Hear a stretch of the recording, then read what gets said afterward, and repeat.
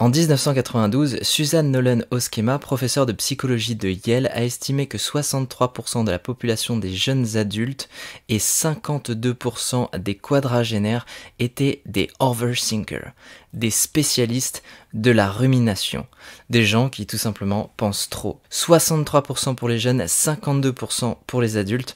En gros, ça représente une partie très très importante de la population et ces statistiques viennent de 1992. Donc aujourd'hui, possiblement, ce serait plus. Tellement de smartphones, tellement de pensées, tellement d'obligations, tellement de choses à faire, tellement de choses dans notre esprit. Et en plus, on se rend compte qu'on a exploité de façon un petit peu hardcore les ressources de la planète. Donc il y a de quoi s'inquiéter pour les années à venir. Ce qui fait une somme de choses dans notre esprit et beaucoup d'entre nous ont des pensées négatives ruminantes qui reviennent sans cesse. Alors la question par l'intermédiaire de cette vidéo, c'est comment faire pour les dompter?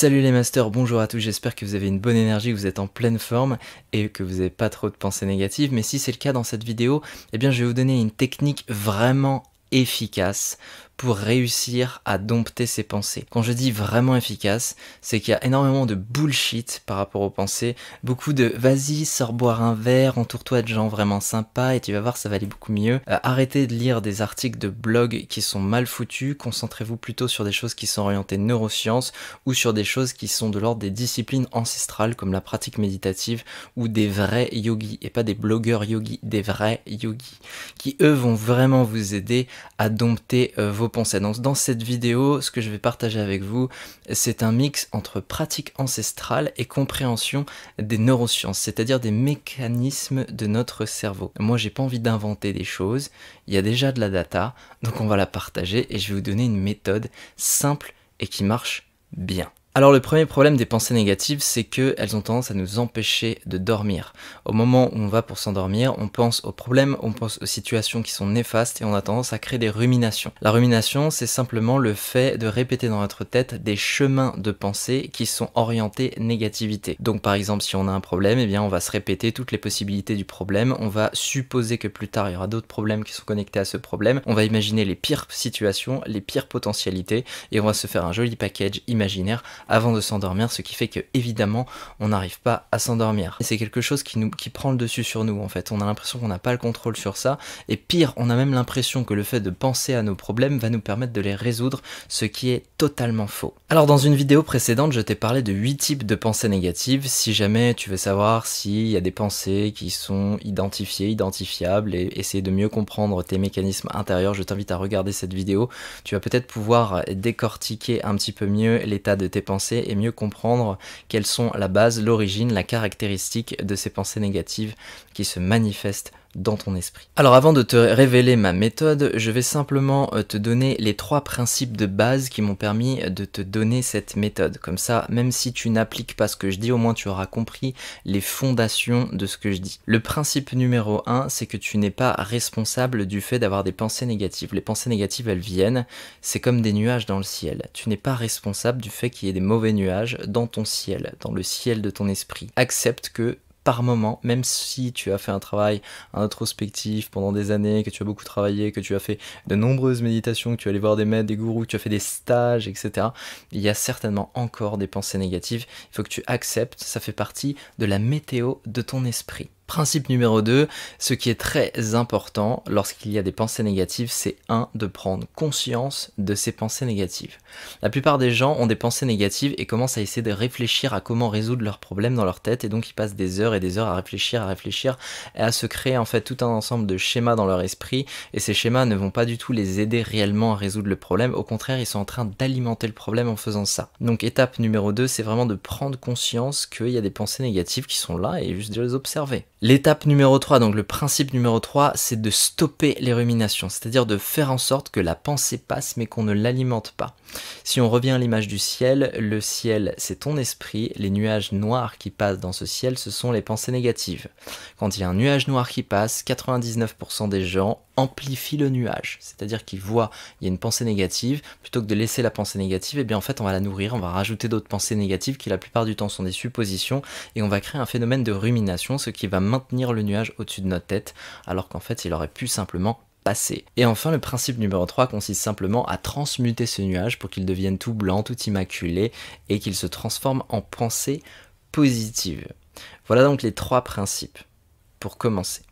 Maintenant, on passe à la méthode. Comme tu l'as compris, l'image que je te donne dans cette vidéo pour imaginer ton esprit, c'est l'image du ciel.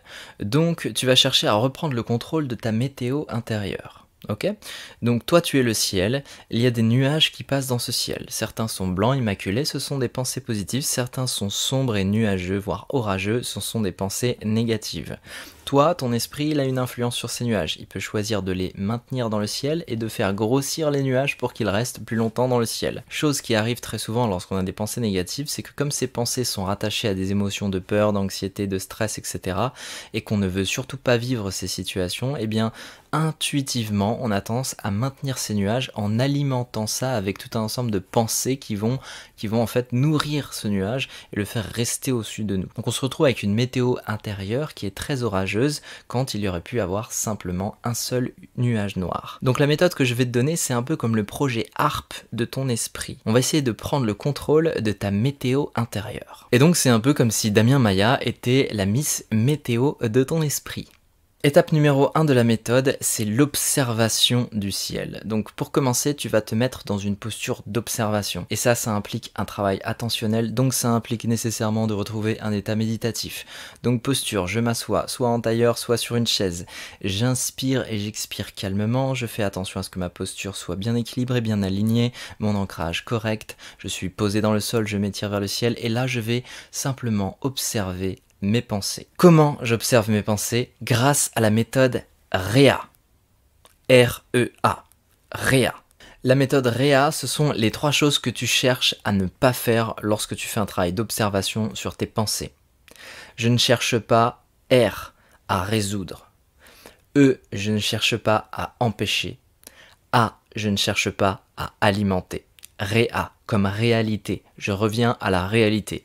Je ne cherche pas à résoudre, pas empêcher, pas alimenter. Ok? Alors c'est très contre-intuitif parce que la première chose qu'on cherche à faire lorsqu'il y a des pensées négatives, c'est on cherche à résoudre nos problèmes. La deuxième chose qu'on cherche à faire, c'est à empêcher que ces problèmes arrivent. Et la troisième chose qu'on cherche à faire, c'est à faire en sorte que on trouve la solution et donc on va beaucoup réfléchir au problème. Le travail attentionnel que l'on met en place par la pratique de la méditation consiste vraiment à rentrer dans un état d'observation.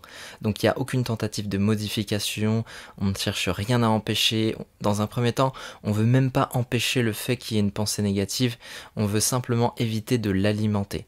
Donc on revient à un état de clarté et dans cet état de clarté, on est au moment présent et on observe attentivement nos pensées grâce à la méthode REA que ça, c'est très difficile à faire. Donc ça implique de revenir dans une situation d'observation et ça c'est un entraînement. Donc si ça vraiment tu veux approfondir là-dessus, il y a beaucoup de vidéos sur ma chaîne, explore, tu verras, j'en parle. Euh, pour moi la base pour gérer les pensées négatives, c'est vraiment de rentrer dans un état d'observation et donc ce que je te dis dans cette vidéo, c'est applique la méthode REA. Très simple, efficace, redoutablement efficace, mais nécessite de l'entraînement.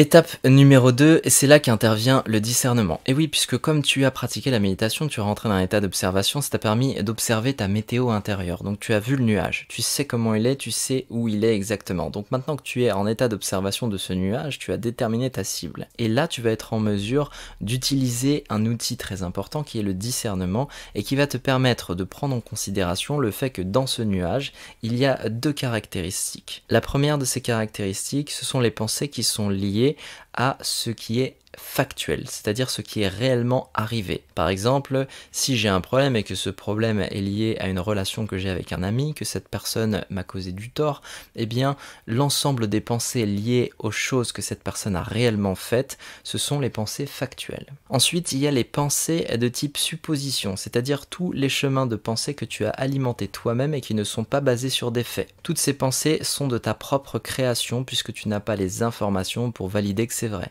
Alors quand quelqu'un t'a causé du tort, tu vas te tenter de dire j'imagine qu'il a fait ça en collaboration avec une autre personne dont je doute de sa confiance et que les deux ensemble ils ont réussi à faire ça, mais que ça cache une prochaine étape où ils vont certainement chercher à me refaire du tort et tu vas alimenter comme ça des chemins de pensée qui ne sont pas réels, qui ne sont pas basés sur une expérience concrète et vérifiable. Ça ce sont les suppositions. Le discernement va te permettre de revenir à ce qui est réel.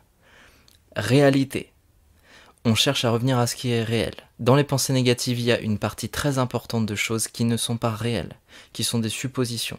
Les suppositions sont dangereuses. Les suppositions, c'est le vent qui va maintenir le nuage dans le ciel et qui va l'amplifier. Les suppositions sont la base de toutes les ruminations. Donc le fait de supposer, d'imaginer, d'aller chercher des choses qui ne sont pas basées sur la réalité, mais sur une estimation personnelle qui est donc totalement subjective, c'est ça le danger. Le discernement va te permettre de regarder le nuage droit dans les yeux et d'identifier clairement ce qui est réel et ce qui est de ta propre invention. Parce qu'effectivement, dans les pensées négatives, il faut considérer dès le départ, et j'ai oublié de te le dire, qu'on a notre responsabilité. Certes, il y a des choses qui sont injustes, qui sont douloureuses, mais il faut considérer aussi que ces choses douloureuses sont une base pour derrière supposer des choses. C'est-à-dire que quand je suis atteint par une situation, je vais faire des suppositions, je vais générer des pensées qui ne sont pas réelles, je vais imaginer des choses en fait qui n'existent pas. Et le fait de faire ça, ça maintient le nuage en fait. Donc le fait d'observer ses pensées, d'observer sa météo intérieure objectivement et clairement nous permet vraiment, mais vraiment de nettoyer notre ciel, pour éviter que nous-mêmes on alimente la noirceur de ce ciel. Et c'est quelque chose qu'on fait, mais de façon quasi systématique en fait. Ce que je suis en train de te décrire là, c'est quelque chose que 99% des gens qui ont eu des pensées négatives ont fait. Personne n'est capable, sans entraînement, de supprimer les pensées négatives comme ça. On fait tous des suppositions, on est tous amenés à des chemins de pensée qui nous font maintenir nos états de déprime, et l'art de l'entraînement de l'esprit consiste justement à nettoyer cette météo intérieure. Donc le discernement est une clé fondamentale pour nettoyer ses pensées. Alors ça y est, on y arrive, maintenant on passe aux exercices. C'est bien d'observer ses pensées, c'est bien d'avoir des discernements, mais comment on fait pour vraiment arriver à un état de discernement qui va nous permettre de remplacer, de transmuter ces pensées, de faire en sorte que ce nuage noir devienne immaculé de lumière? La première chose que tu vas faire, c'est que tu vas t'intéresser à la cohérence cardiaque. Dans cette vidéo, je vais pas te faire un dessin de comment on fait la cohérence cardiaque de A à Z, j'en ai parlé aussi beaucoup dans d'autres vidéos. En fait, l'état de cohérence cardiaque, c'est une cohérence entre la pression artérielle, le rythme de la respiration et les battements cardiaques. Et on arrive à cet état grâce à un exercice qu'on appelle l'exercice de cohérence cardiaque. Mais ce qu'on appelle la cohérence cardiaque n'est pas un exercice, c'est en fait d'un ensemble de principes qui rentrent en cohérence dans notre corps. Et on peut réussir à solliciter ça grâce un exercice de respiration. Donc je te fais un résumé très rapide. J'inspire sur 5 temps, j'expire sur 5 temps et je fais ça pendant 5 minutes, 3 fois par jour. L'intérêt de cet exercice, c'est qu'il nous permet immédiatement de rentrer dans un état de calme et de focaliser notre attention sur notre respiration. La respiration est toujours connectée au moment présent, donc le fait de focaliser son attention sur la respiration nous permet de revenir à un état de réalité et c'est un très bon moyen de lancer ensuite l'observation de l'esprit. L'attention est réellement le gouvernail de notre conscience, donc lorsqu'on fait un travail attentionnel, on décide de porter notre attention sur quelque chose de précis. Le fait d'entraîner son esprit à revenir à la respiration nous permet de faciliter le travail d'observation sur les pensées et nous permet de faire un premier nettoyage qui empêche notre attention d'être divertie par le fait qu'on doit agir, qu'on doit réfléchir, qu'on doit résoudre les problèmes, qu'on doit empêcher la situation d'arriver, etc.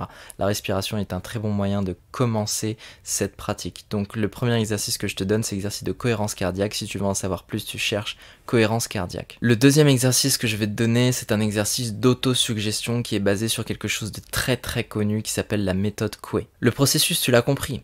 Étape numéro 1, je rentre dans l'observation. Étape numéro 2, je cultive le discernement et mon attention. Étape numéro 3, je fais un travail de transmutation et j'utilise quelque chose de extrêmement simple qui s'appelle l'autosuggestion. En fait, l'autosuggestion consiste simplement à s'adresser à son inconscient. À partir du moment où je suis rentré en cohérence, mon cerveau a retrouvé des ondes qu'on appelle alpha.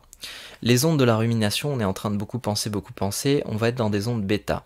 Le fait de faire un travail de respiration va solliciter le système nerveux autonome parasympathique et petit à petit va nous permettre de retrouver un état calme. Cet état calme nous permet d'avoir des ondes alpha. Les ondes alpha sont une fréquence légèrement plus basse et on se rapproche donc de notre intuition.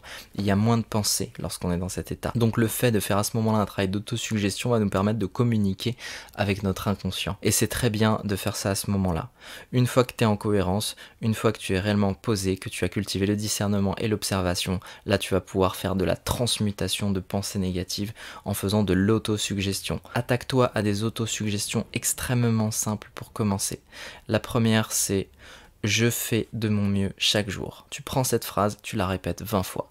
Je fais de mon mieux chaque jour. Je suis un petit peu mieux chaque jour. Chaque jour, je fais un petit peu mieux.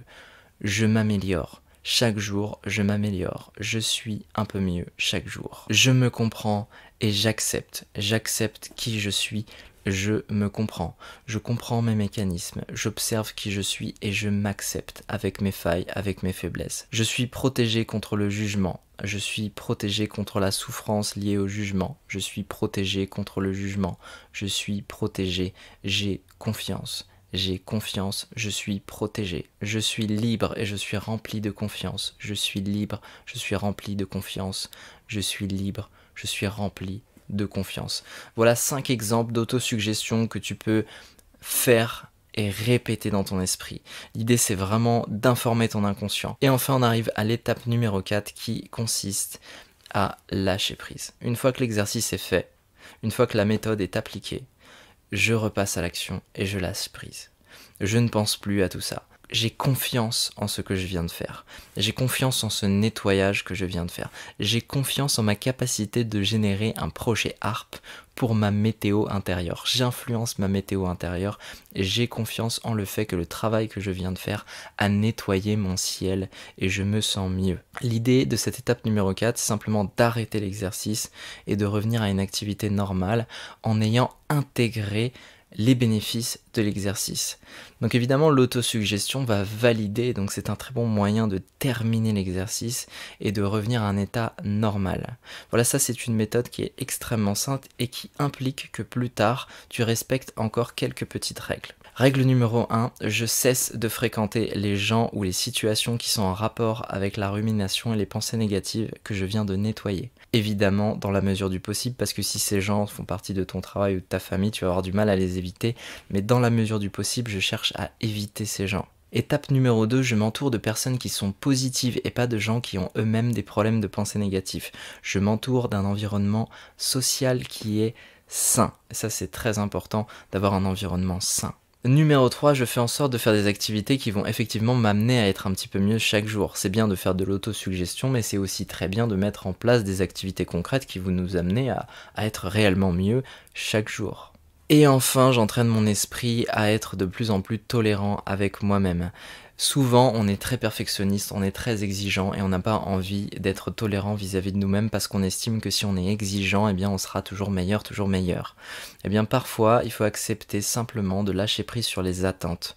Le fait d'engager des changements, le fait de faire des choses pour être meilleur, c'est bien, mais le fait d'être un véritable tyran avec soi-même, c'est pas bien. Donc l'idée c'est de pouvoir avoir une vision, une motivation qui nous permet d'être performant, mais en même temps de lâcher prise sur les attentes, de lâcher prise sur les objectifs pour pouvoir générer une tolérance et une bienveillance vis-à-vis de soi-même. Si vous êtes un tyran avec vous-même, vous allez avoir du mal à vous sentir épanoui même lorsque vous atteignez vos objectifs, puisque vous aurez du mal à être satisfait de votre accomplissement. Donc s'il vous plaît, s'il vous plaît, soyez gentil avec vous-même, soyez tolérant, faites des efforts, dépassez-vous, soyez un petit peu mieux chaque jour, mais essayez simplement d'être indulgent et d'accepter aussi vos faiblesses parce que sinon lorsque vous aurez une victoire vous serez simplement pas capable de la saisir et vous serez pas capable de, jouir et de, de jouir pleinement de, cette satisfaction d'avoir réussi, d'avoir atteint votre objectif parce que votre esprit sera directement tourné vers un prochain objectif et on peut passer littéralement à côté de sa vie comme ça. Donc s'il vous plaît, vraiment prenez le temps de vous dire merci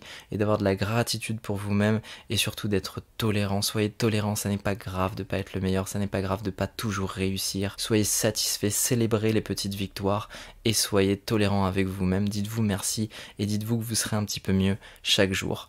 Et enfin, je finirai en te disant que même après des années et des années et des années de travail sur toi, tu auras toujours des pensées négatives. Ça fait partie de la météo intérieure d'un être humain. Tu dois simplement l'accepter et apprendre à apprivoiser cet esprit qui est tout le temps en mouvement. J'espère que cette vidéo a été utile, j'espère que cette méthode va être efficace. Moi, j'ai pas cherché à donner un petit peu tout ce qu'on trouve dans les petits articles de blogueuses, de machin, essayer de faire ci, essayer de faire ça, change-toi les idées.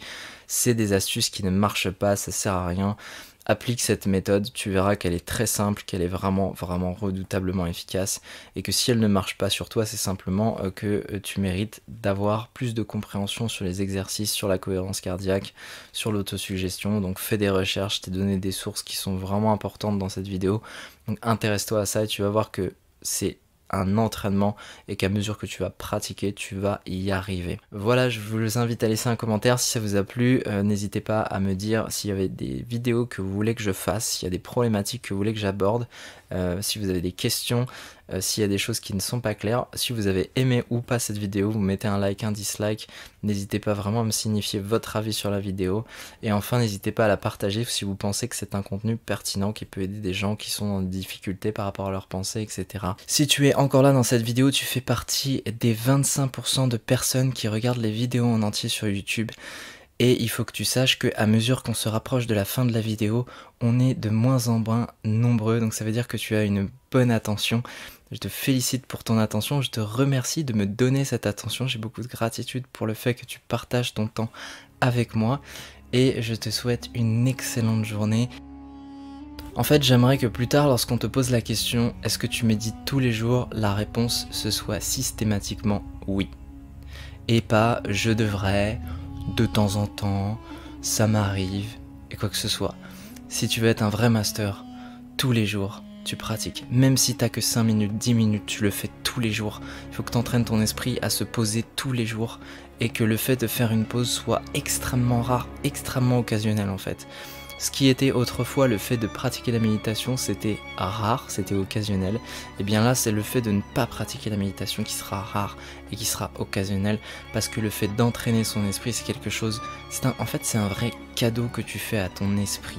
C'est un cadeau que tu fais à ton cerveau, et tu as besoin, vraiment besoin, de le faire tous les jours. Et je le répéterai autant de fois qu'il me sera nécessaire de le faire. Et je pense que ce sera nécessaire que je le fasse tout le temps. Donc. Hmm. C'est la fin de la vidéo. Alors quand la vidéo est terminée, on dit coupe.